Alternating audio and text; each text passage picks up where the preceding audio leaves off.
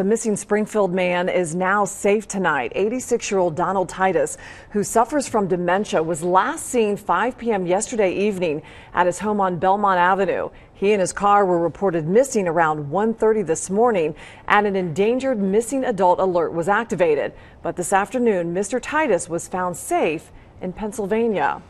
Now, many families live with that fear of having an elderly family member go missing. So, how do you ensure the safety of a loved one with dementia?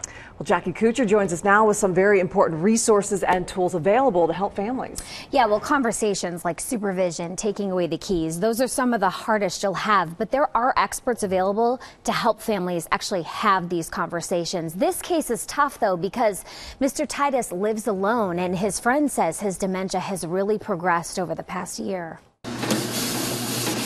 It was a morning filled with not only work, but worry for Kathy Howard. Careful.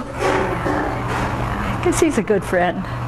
86 year old Donald Titus went missing. Kathy's also his landlord. So when he didn't come home last night, she alerted his family, who then called police. After a statewide alert, he was found safely in Pennsylvania.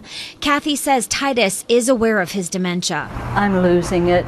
I just can't think straight anymore. I keep forgetting. And he's getting more and more paranoid. People are taking his things, they're hiding his money, they're taking his money. His family has talked about assisted living. But he absolutely fights it. Um, and it's not one of those things you can just pick them up and take them there and say, you're going to live here. Those conversations are never easy. That's why the Alzheimer's Association wants families to know they can help. We know it's probably one of the hardest things families have to do. And really, it comes down to safety. If there's any signs that the person is having problems with uh, remembering where they are, um, those are the times when we have to do that. 30,000 people suffer from some form of dementia in the Miami Valley. 60% of them will wander from home. That's why many Alzheimer's patients wear a bracelet bracelet for when they're found.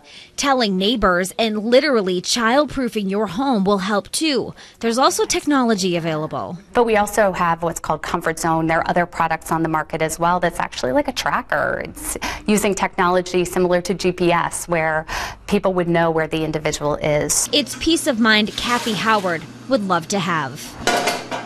But he's definitely going to have to go to assisted living. Yeah. We feel sure because none of us want to go through worrying about him.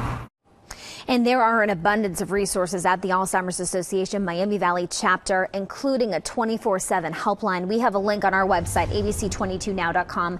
Just click on news links. Back to you guys. 60%. Mm. What a statistic.